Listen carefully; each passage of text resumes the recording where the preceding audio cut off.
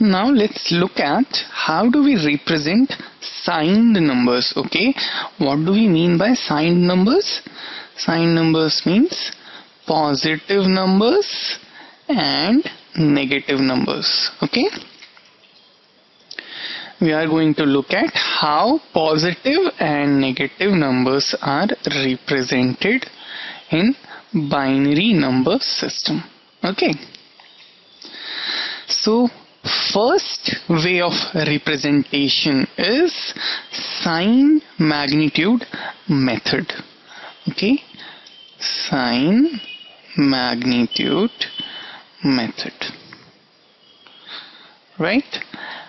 So in this method what we do is we add an extra bit add an extra bit to the left to represent the sign okay? So now let's understand how do we represent a number in sign magnitude method. Suppose I have to represent plus 25 and minus 25 okay? So let's see how do we do it. First step is represent the number in binary. Okay so when I say number I mean number without any sign. Okay? Number without any sign in binary. So if you are talking about plus 25 I am saying represent just 25 in binary and my second step is add an extra bit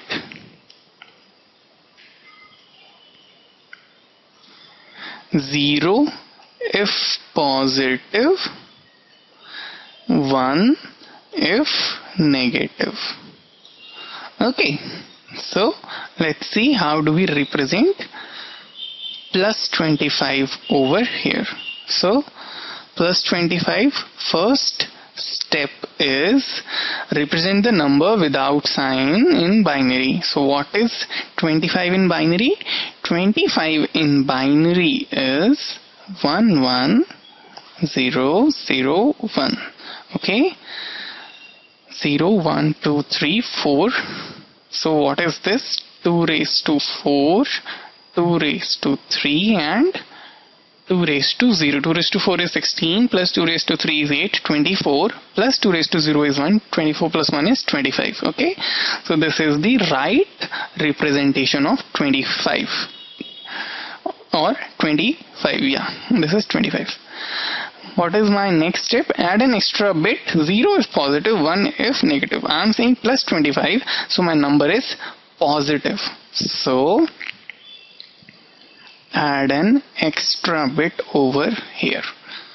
0 so similarly if you have to represent whoops if you have to represent minus 25 you are going to repeat the same process. First what is 25 25 is 11001 and you are going to add 1 since this number is negative.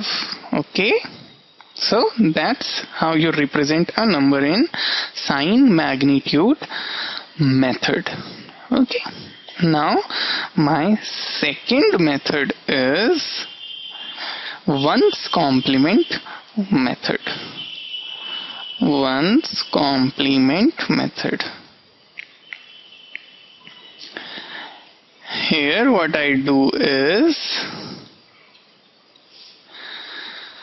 my positive number is represented